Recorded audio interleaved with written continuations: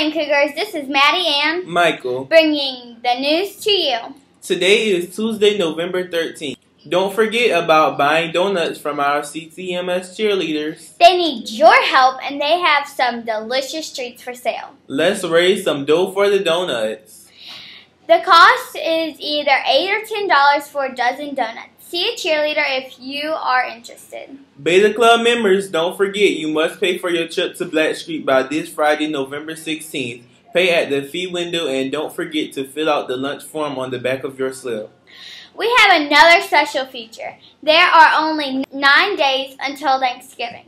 This year, for our countdown, we are going to give you the lowdown on our colonization of this land and how it really happened. Hey guys, this is Taylor here with your history topic. Let's find out more about the Native Americans, but specifically the Low Country in South Carolina. One of the main tribes that was settled in this area was called the Cusabo, with a sub-tribe known as Coosa. These indigenous people were essentially kicked off their land when the English began to settle the original South Carolina colony. Though they did put up a fight, South Carolina declared war on them in 1671, and though the details are not recorded thoroughly, the war was won in favor of the colony. The tribes was forced to give up their rich land and pay monthly tribute. This war was known as the Coosa War. Well, I hope y'all learned more about the Native Americans that this land belonged to before America was ever created.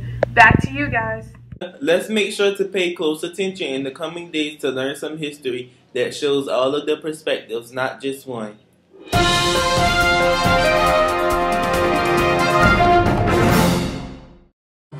close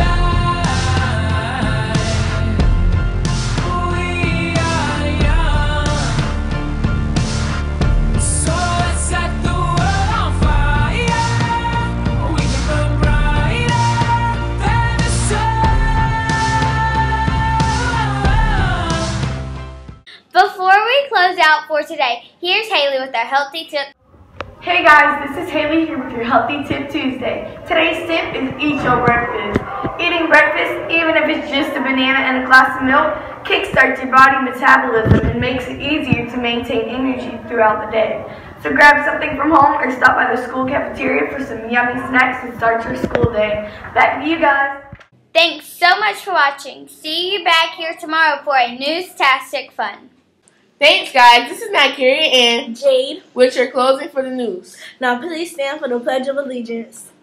I pledge allegiance to the flag of the United States of America and to the republic for which it stands, one nation, under God, indivisible, with liberty and justice for all. Now, please remain standing and stop for a moment of silence.